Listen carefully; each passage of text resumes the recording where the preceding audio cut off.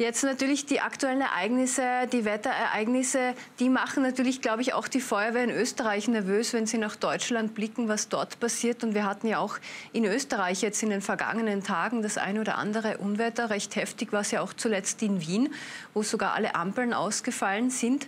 Und es gibt auch Starkregen, Hagel auch in Österreich bereits. Jetzt sagt man sogar, dieses Wetter, was da in Deutschland niedergegangen ist, diese Front könnte auch nach Österreich kommen. Wie sehr beunruhigend beunruhigt Sie denn das auch jetzt angesichts der Entwicklung in den vergangenen Jahren? Ja, grundsätzlich ist jedes Unwetter oder jede Unwetterfront, die die Feuerwehren in quasi eine, noch einmal eine erhöhtere Alarmbereitschaft versetzt, durch das flächendeckende System der Feuerwehren, wir sind ja wirklich in jedem Gemeinden schon vertreten, äh, könnten wir aber im Fall des Falles natürlich sehr rasch reagieren. Wer schnell hilft, hilft doppelt. Das hat man jetzt auch gesehen, Schattenberg oder Tschechische Republik, diese Hagelunwetter, hier sehr rasch vor Ort sein zu können, ist einfach ein Riesenvorteil. Und man beobachtet jetzt Deutschland, Belgien, sehr genau, wie sich die Lage dort entwickelt, ob diese Unwetterfront auch nach Österreich abdriftet. Mhm. Man trifft vorsichtige Vorkehrungen, aber grundsätzlich die Feuerwehren stehen immer zur Verfügung. Mhm. Kann man sich denn eigentlich jetzt, wenn man anschaut nach äh, Rheinland-Pfalz oder Nordrhein-Westfalen, wir haben ja gerade die Bilder auch im Splitscreen, äh, kann man sich eigentlich auf so etwas vorbereiten?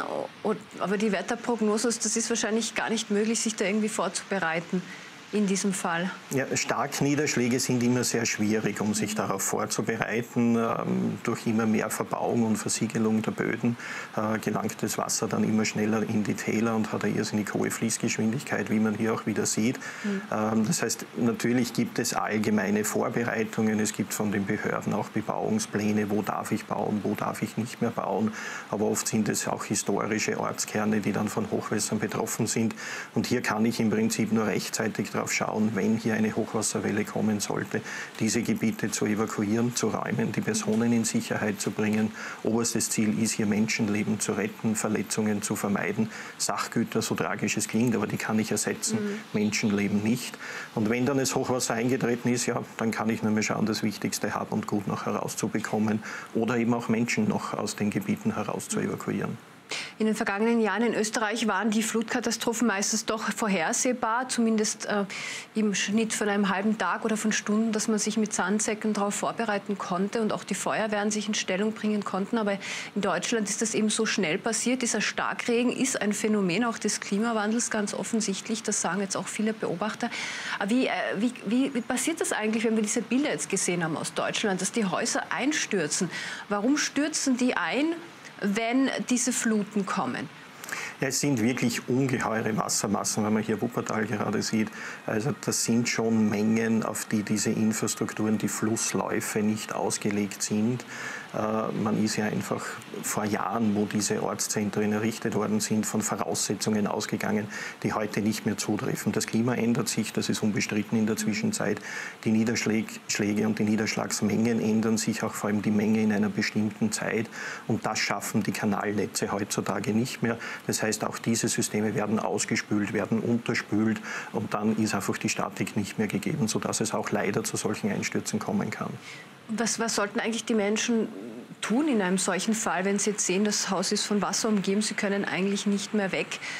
Da bleibt ja eigentlich nichts anderes übrig, als sich auf den, auf den obersten Stock oder in den Dachboden zu retten. Ja, zumindest das wichtigste Hab und Gut, also vor allem Dokumente, Unterlagen, dass das relativ schwierig wieder zu beschaffen ist, das auch mitzunehmen, in, in die trockenen Etagen zu bringen, vollkommen richtig. Und genau dort dann auch auf Hilfe warten, auf die Anweisungen zu warten, diese zu befolgen. Nicht leichtsinnig in das Wasser hinauszugehen. Man weiß nicht mehr, ist dort schon irgendwo vielleicht was eingestürzt, eingebrochen, Kanal, Kanäle nicht mehr vorhanden. Wo trete ich drauf? Ich begebe mich mitunter in Lebensgefahr. Lieber dort zu bleiben, wo ich bin, auf die oberen Etagen flüchten, mhm. sich bemerkbar machen, auch den Notruf zu wählen und dann eben auf die Anweisungen der Behörden und der Einsatzkräfte warten. Mhm. Gab es jetzt ähnlich dramatische Fälle schon auch in Ihrer Laufbahn, die Sie miterlebt haben in Österreich? Ja, wir haben einerseits immer wieder die Hochwässer entlang der Donau. Ähm, da sind wir als Feuerwehren schon ein wenig darauf trainiert. Aber auch die Starkniederschläge machen uns immer wieder zu schaffen. Ich denke einige Jahre zurück, ähm, Seitentäler der Donau, das Kamptal zum Beispiel, oder im Bereich Spitze in der Wachau, Spitzer Graben binnen Stunden oder weniger Minuten eigentlich total verwüstet und auf sechs Monate hinweg circa unbewohnbar gemacht geworden, wo es auch Todesopfer zu beklagen gab. Also auch in Österreich gibt es solche Situationen.